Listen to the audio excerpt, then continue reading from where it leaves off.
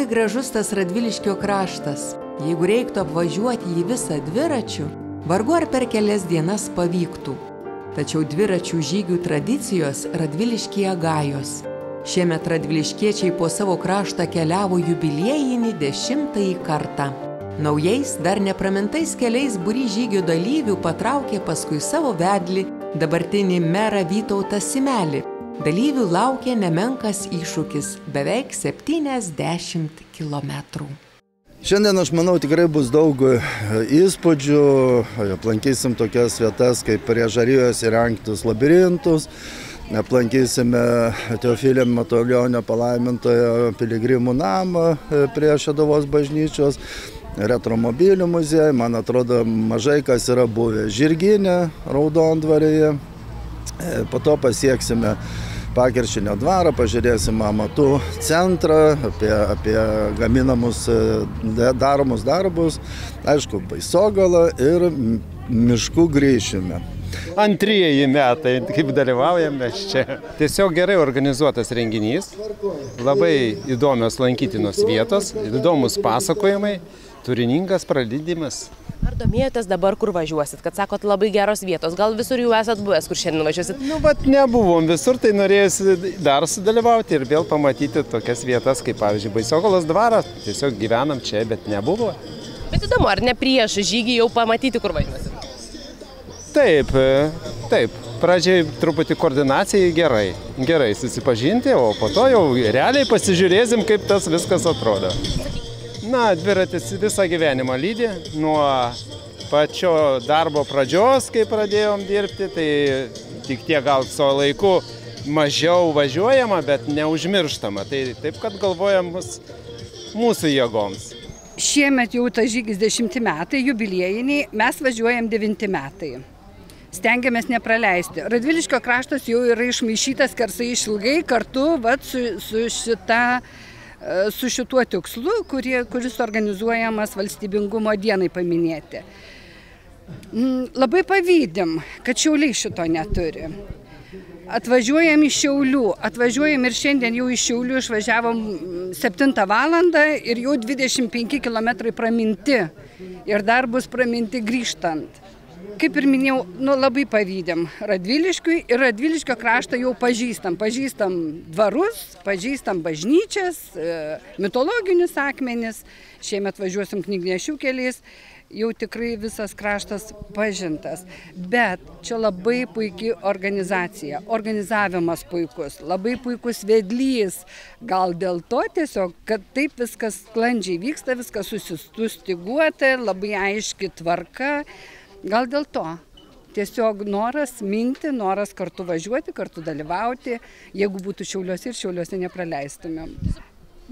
Labai džiaugiuosi, kad turiu tokį vyrą savo ir mes su vyru kartu. Baidarėmis, valtimis, dviračiais ir pėsčiomis. Esame išmaišę visą Lietuvą. Iš Lietuvos nei žingsnio, bet Lietuvoje, kur tik įmanoma, arba patys susiorganizuojam, arba dar suagituojam draugų. Na, šiemet galiu net pasigirti tokį jau turim tradicinį baidarių plaukimą giminėje. 18 metais plaukė 3 baidarės, o šiemet jau 17 baidarių.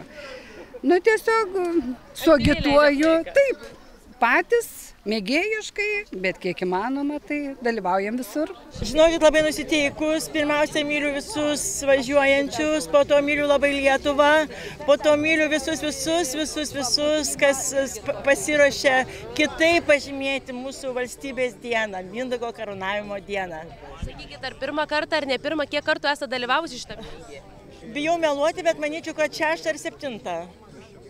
Kas vilioja, vat, ar visgi aplankamios vietos objektai, tas toks įdomus maršrutas, ar norit fiziškai būti aktyvi, norit važiuoti, kas visgi labiau vilioja? Mane vilioja visi jūsų suvardinti teiginiai. Iš tikrųjų, tai pirmiausia, tai savo, savo rajono pažinimas, po to labai gera organizacija ir tiesiog pasirūpina visais kaip vaikais labai saugi yra šita dviračio kelionė.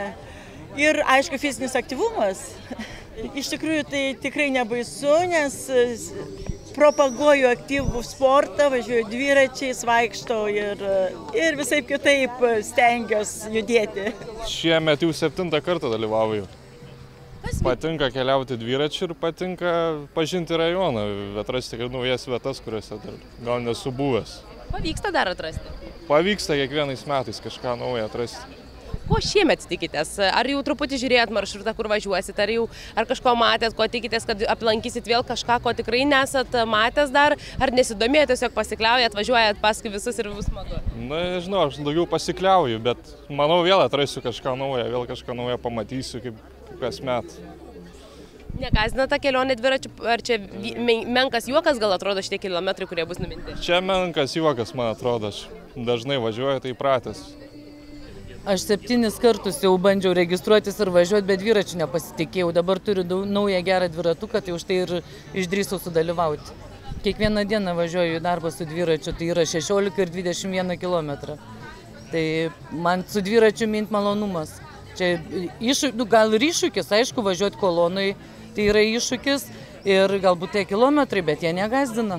Tai ko tikitės iš pačio to žygio? Ar tiesiog gero praleidimo? Tiesiog gero laiko, geros nuotaikos, kompanija jau matau, kad gera, nes labai daug kolegų iš, iš mano darbo kartu. Tai tiesiog gerai praleis dieną. Ar tu dažnai važiuoji dviračiu, ar tavęs negazina, kad šiandien reikės tikrai daug važiuoti? Mm, labai daug. Reikės. Ar važiuosi tik su mamytė, ar ir tevelis gal jūsų daug važiuoja ir dėl to nebijai, žinai, kad kažkas palaikys tave? Ir dar draugai važiuos. Ir mamas. Mama ir tėtis ir brolis, taip? O, tai jūsų tikrai daug. Ar tu pirmą kartą važiuosi tokią tolimą kelionę, ar, ar dažnai tik tais po kiemą važinėjai? Mm, pirmą kartą į tokią didelę kelionę. Nebaisu dabar čia taip, ar jau nori, kaip tik, kad kuo greičiau prasidėtų? Mm, noriu. Šitie žygiai, jie ne tik tai, sakykime, moko mus eismo taisyklių, kaip elgtis kelyje, bet ir formuoja pagalbos jausmą vienas kitam padėti, jeigu kokia ar padanga prakiūra ar kas, vienas kitam pagelbėti, vienas kitam patarti. Nu, tai yra Tai yra, nėra tikslas pralėkti akis užsimerkos, tai yra ir pasakojimai, ir supažinimai su objektais ir taip toliau.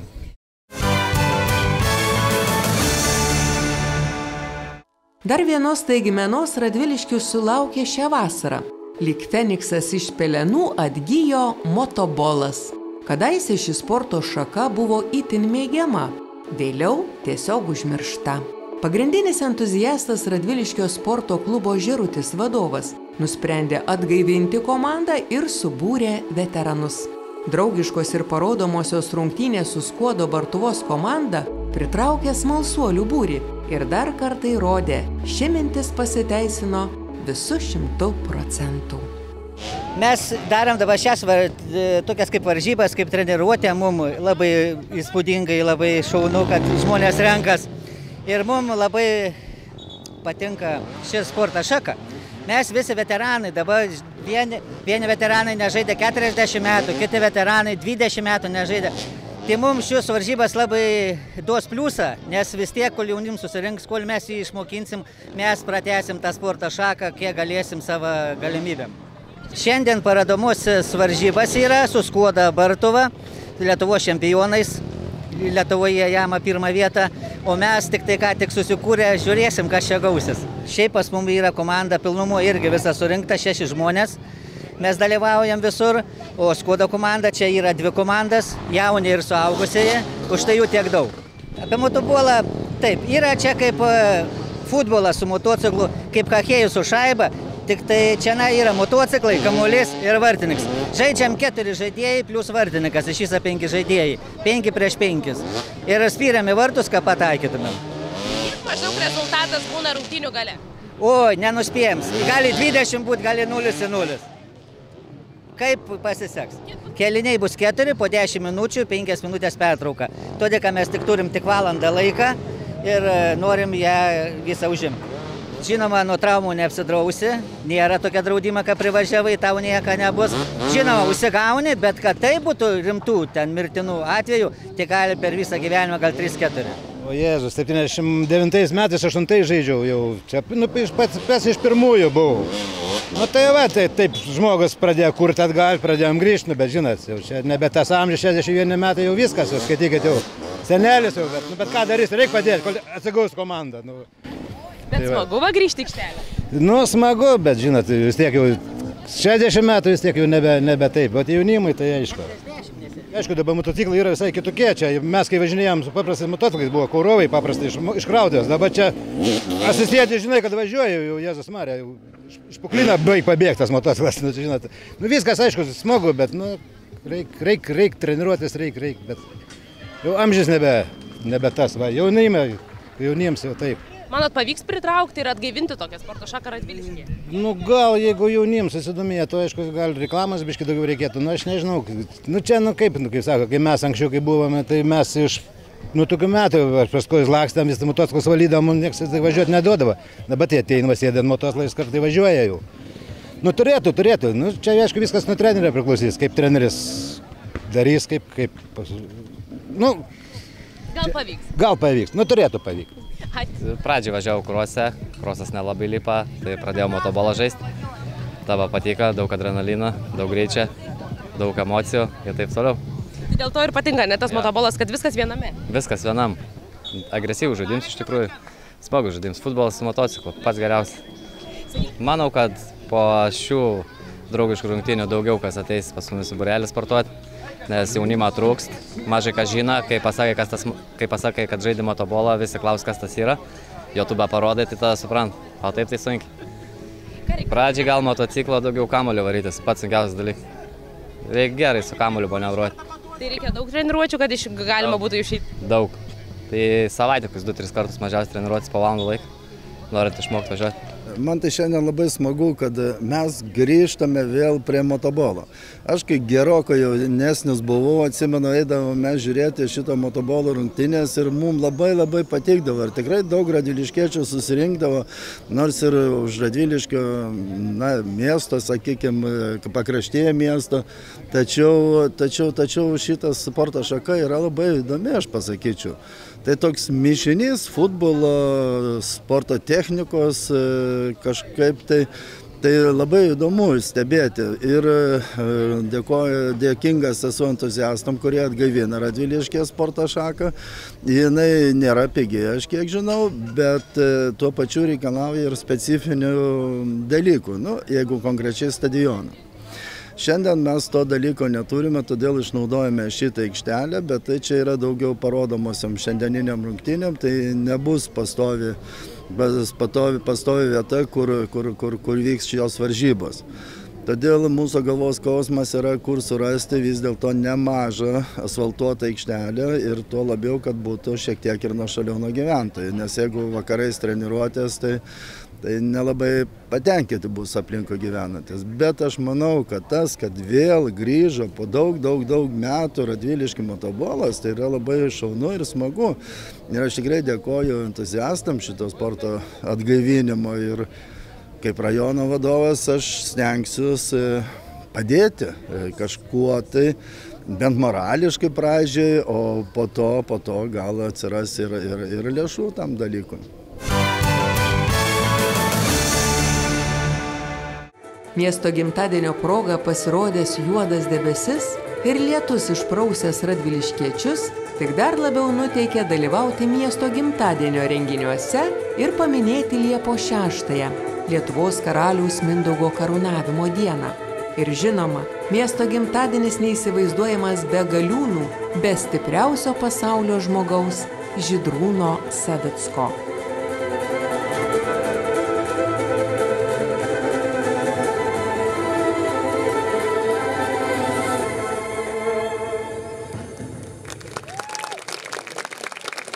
Šita šventė šiandien sutapo labai gražiai su valstybės diena, tai renginių tasa yra didžiulė. Man tai labai malonu, kad Radviliškai jau ne pirmą kartą vyksta galiūnų varžybas ir tos varžybas visada įneša visą radviliškiečių tarpę daug diskusijų, daug svarstymų ir, ir, ir, ir pasidžiaugti, kada mato Aš sakyčiau, tikrai labai stiprius vyrus, kurie daro, kilnoja, pasiekia rekordus na, kitą kartą net nelabai realiai įsivaizduoju, kaip žmogus gali pakelti tiek kartų ar, ar tokį svorį. Tai, va, tai man tai labai smagu, kad radiliški visi ta surinkta galiūnų varžybos vis grįžta ir grįžta. Ir dabar jau aptarėme, kad rudenį susėsim ir toliau kalbėsim apie galimybę dar toliau ir kitą metą susitikti. Labai gaila, šiemet norėjome truputį nešti paivairinimo į rungtis ir, ir aš pasiūliau, sakau, gal organizuojame kokią šunumvežio patempimą, vagono patempimą. Na ir aš kiek žinau, tie galiūnai geranoriškai priėmė tokį pasiūlymą, tik tai gaila, kad nepavyko su Lietuvos geležinkeliais susiderinti iki galo. O kodėl aš tai siūliu? Todėl, kad mes žinom, kad Radviliškis tai yra geležinkelininkų sostinė. Ir tai būtų labai simboliška buvo tą dalyką padaryti. Bet aš manau, gal susitarsim ateitie. Jo labiau, kad šitą, šitą, šitą variantą jau yra išbandęs gerbiamas Savickas. Jis jau prieš keletą metų tai atlikinėjo, vadinasi, yra galimybė. Tai nesvarbu, aš manau, kad tai labai smagu, kad va čia yra ir iš užsienio daug dalyvių, ir, ir iš kaiminių rajonų, ir mūsiškis dalyvavo. Taigi tas geografinis ratas praplečia žinias tiek apie Radviliškį, tiek galima išvažiavus papasakoti, kad buvom Radviliškį. Labai šaunus renginys, puikia vieta, man patinka varžytis Lietuvoje. Dalyvavau varžybose ir laimėjau. Šiek tiek jaudinausi vienoje rungtyje, bet galiausiai viskas baigėsi šauniai. Ir tai labai geras jausmas. Svarmenis nesunkus man pasirodė net per lengvi, sakyčiau. Galbūt galėjo būti sunkesni svoriai, bet jausmas nerealus. Rasto kelimas, tokia tradicinė rungtis, atkelimas, lagaminų nešimas, svorio laikymas prieš save ir padangos vertimas. Tokios greitos, dinamiškos, Greitai praėjo varžybos, pakankamai įdomu ir lietus neužkūpo praktiškai, spėjom be lietaus padaryti varžybas. Tai sunkiausia buvo atkelimo rungtis 320 kg. Labai gerus rezultatus parodė, trys sportininkai iškėlė po 11 kartų, kas tikrai yra labai aukštas rezultatas. Ir padangos vertimas 360 kg. Mes pripratę prie savo padangos, bet užsienio sportininkam tikrai buvo pakankamai sunku susidoroti su mūsų padanga ir jie ieškojo, kaip čia ją paimti, kaip apversti, tai čia turėjo mūsų sportininkai privalumą. Tai yra fantastinė šventė. Bibliotekoje vyksta mūsų rajono tautodailininkų ir visų menininkų ir mokinių paroda Karūna. Tai praktiškai ir skaičiau asmeniškai ruoždamas tai parodai dar kartą papildomai apie Mindaugą, apie Mindaugo likimą, jo su žemaičiais ryšius, nes pati žemaitė Tai va, tai taip, kad labai puikia šventė. Dalyvauju tikrai ne kasmet ir dalyvauju gal kitokiose šiek tiek šventėse, bet šiandien pakvietė mano mamos kursiokė, labai sena draugė ir susigundžiau, nes per tą karantino laikotarpį labai seniai nebuvau jokioj mūgiai. Tai žinokit, labai šiandien mano tinkama prekė yra geros nuotaikos fėjas.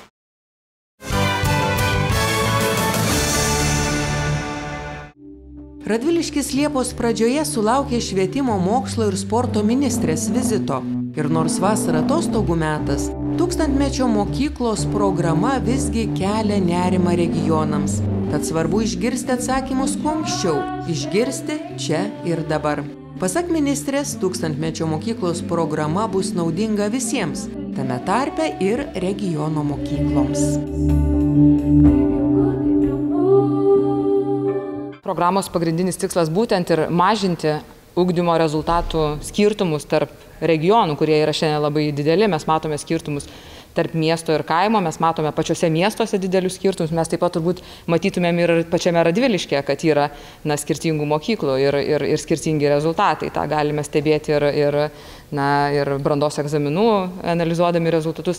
Tai mūsų ir tikslas tūkstantmečio mokyklų programos būtent mažinti skirtumus ir kad kiekvienas vaikas, nesvarbu, kur jisai gyventų, ar jisai gyvena kaime, mieste, didmiestyje, kad jisai turėtų tokias pačias galimybės e, gauti kokybišką išsilavinimą. Tai čia yra pagrindinis tūkstantmečio mokyklų tikslas. Niekas neliks už borto, nes tai yra pirmas programos etapas. Mes tikimės, kad jisai tęsis ir kad e, na, dešimtmečio, 30-mečio, 30 metais mes turėsime Lietuvoje visas mokyklas e, tūkstantmečio mokyklas. Tai čia yra tik tai pir, pir, pirmas etapas ir mes programą ir projektą įgyvendinti planuojame pradėti tik tai sausio mėnesį kitų metų. Šiuo metu mes kalbame su savivaldybėmis, kalbame ir su meru, su administracijos vadovais ir na, analizuojame kartu, kokios yra pagrindinės ūkdymo problemos, kadangi ši programa yra pritaikoma kiekvienai savivaldybei, jinai bus specifinė kiekvienai savivaldybei, kadangi savivaldybių poreikiai ir savivaldybių švietimo situacija yra skirtinga. Tai, tai nebus, kad kažkokios mokyklos liks už borto, niekas neliks už borto, pati savivaldybė sprendžia, kaip jinai nori gyvendinti programą, kur jinai mato probleminės vietas, tam, kad ugdymo, ta ugdymo kokybė padidėtų ir pagerėtų būtent šiuo atveju jūsų radviliškio savivaldybėje. Tai mes tas problemas padedant tūkstantmečio mokyklų programai ir bandysime spręsti. Turime gairias ir tiksliname nuotolinio ugdymo vadovą, turime aprašę ir atvejus, kokiais atvejais gali būti taikomas hybridinis ūkdymas, bijoti ir pergyventi tikrai nėra ko, todėl kad mes rugsėjo 1 planuojame grįžti į klases kontaktiniu būdu e, ir testuotis e, bus rekomenduojama, mes tikrai skatinsime testavimą kaip normalų sveikatos patikrinimą. Na ir hybridinis ūkdymas gali būti taikomas tik išimtinais atvejais, nes mes ir neturime įrangos hybridiniam ūkdymui. Na, mes šiuo metu ministerija vykdo pirkimą ir man atrodo savivaldybės ir mokyklos turėtų labai džiaugtis, jeigu turės tą įrangą, nes hybridinio ūkdymo įranga yra naudojama ne tik tai pandemijos metu, jinai yra didelė pagalba mokytojui, bet kuriuo metu, kuomet vaikas serga, jisai, tarkime, yra izolacijoje arba jisai serga, arba jam yra skirtas ūkdymas namuose, tai hybridinė įranga leidžia pamoką vesti vienu metu, kokybišką pamoką, kada mokytojas yra klasėje ir vaikas yra nuotolyje, kadangi ta įranga būtent ir yra tam, kad padėti mokytojui ir jokių papildomų pastangų tam nereikia. Tai yra robotų, roboto principų paremta įranga. Tai bijoti dėl to, kad na, mes kažkaip pereisim į hybridinį ūkdymą, tai nereikia, nes na, mes neturim nei įrangos ir mes tikrai norime, kad vaikai mokytųsi klasėse ir išskirtiniais atvejais turint įrangą gali mokytis hybridiniu būdu, jeigu tam yra poreikis. Vienas vyriausybė padvigubino um, skirtą pinigų sumą, tai yra 2 milijonai šiuo metu. Tai na, jau savivaldybėms buvo e, išdalinta pirma, kaip sakant, porcija, jeigu taip galima sakyti, vienas milijonas, kuris buvo biudžete. Tai kitas dalykas, kad tai yra programa, kuri, na, yra, jinai nėra e, skirta visiems, kurie išeina, tarkime, į pensiją. Tai yra programa, kuri turi paskatinti arba bendrų sutarimų, na, sutarti dėl išėjimo mokytojų, kurie yra galbūt pensijinėme amžiuje arba dėl optimizacijos gali netekti darbo vietos ir tuo atveju, jeigu yra kas juos pakeičia. Tai nėra tokia programa, kuri turi skatinti visų mokytojų išėjimą į pensiją. Tai yra papildomi pinigai. Kiekvienas mokytas, kuris išeina į pensiją, jisai turi pagal darbo kodeksą galimybę ir tai yra privalu, valstybė jam turi sumokėti jam priklausančias išeitinės. Tai šiuo atveju yra skatinimo programa. Ir na, tai neturėtų būti taip, kad savivaldybė visiems, kurie išeina į pensiją ar dėl kažkokių kitokių priežasčių, tiesiog sako, kad mes vat, mokėsim šešių mėnesių išeitinę. To valstybė niekada nebuvo, nėra pasakiusi, 2019 metais iš viso nebuvo nei vieno euro skirta tokiai programai. Ir kitą turime problemą, kad trūksta mokytojų. Taigi savivaldybė turi labai gerai įsivertinti, ar e, išleisdama mokytojus į ankstyvą pensiją, aš sakyčiau, nes kuomet tau yra 60 ar 64 metai, tu tikrai dar esi pajėgus daugeliu atveju mokyti ir turi daug patirties ir gali ją perduoti, tai mes turim pasižiūrėti, ar tikrai jeigu išeis, pavyzdžiui, matematikas, kurių labai labai trūksta, mes turėsime kitą matematiką, kurį jį pakeičia. Nes mes matome situaciją, kad po dviejų metų mums trūks beveik 3000 mokytojų. Tai ta, mes tikrai programą koreguosim, koreguosim tą kryptimį, kad e, skatintume mokytus ateiti, o ne, kaip sakant, tar, sakytumėm žinutę, kad reikia, kad jūs išeitumėt. Aišku, pokyčiai turi būti ir turi ateiti e, jauni mokytojai, turi ateiti patyrę mokytojai, ta prasme negalime mes čia irgi, kaip sakant, e, už, užsistovėti, bet, bet tikrai mums labai reikia įsivertinti, ar mes turėsime kuo pakeisti mokytojus. Na ir pabaigai, lyg šaukštas sunešto bičių medaus vasaros įspūdžių kraitėje. Radviliškė Burbiškio dvaro duris pravėrė visame pasaulyje žinomas kolekcininkas, mados istorikas bei meno kritikas Aleksandras Vasiljevas. Daugybėnės muziejaus Burbiškio dvaro istorijos skyriuje akį traukia įstabus apriedai. Tai parodos dvaro pramogos medžioklė dalis. 1860-1940 metų laikotarpių istoriniai kostiumai, aksesuarai ir tapybos darbai. Iš viso Aleksandro Vasiljevo fondo kolekcijoje yra per 500 tūkstančių eksponatų. Na, mes jautėme lankytojų susidomėjimą, kadangi sužinojome, kad ponas Aleksandras Vasiljevas atvyks pas mus vos prieš porą dienų, išplatinome informaciją ir labai greitai surinkome galimą klausytojų скайчу. Susidomėjimas buvo iš ties labai didelis. Taip. Она особенно тем, что практически все вещи, которые выставлены здесь, это ручная работа. Visi daiktai, kurie eksponuojami čia, yra rankų darbas. Mes visada renkame tik tokius eksponatus, kurie yra netradicinės kilmės, neturintis nieko bendro su pramoniniu būdu pasiūtais apdarais. Tai šilko apdaila, vilna, siuvinėjimas, kailio ir odos aksesuarai. Сегодняшняя мода пришла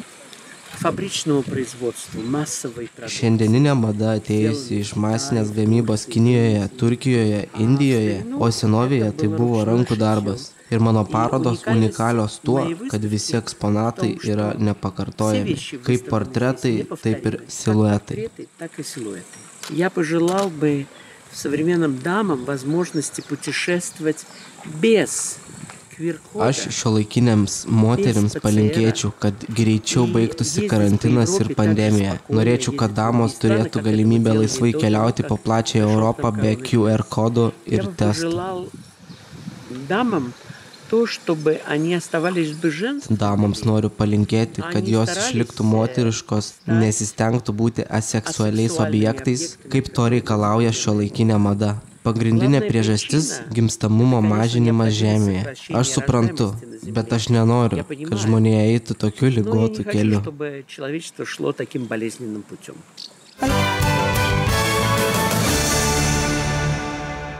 Vasara persirito per šoną, plaukia rugiai, kvepia žemogėmis. Tačiau ši gamtos idilė niekiek nenuramina nenuoramų radviliškiečių. Pakiršinio dvaro parke rūpjūtį antrą kartą organizuojamas šaltibarščių čempionatas. Tikimasi pavergs ir patį didžiausią pesimistą. Taigi kaipgi be tų šaltibarščių, kaip be tos meilės ribos, kaip be svajonių, be juoko, be pokštų, juk kitaip nei to džiaugsmo nepagausi, nei tos laimės prisijaukinsi.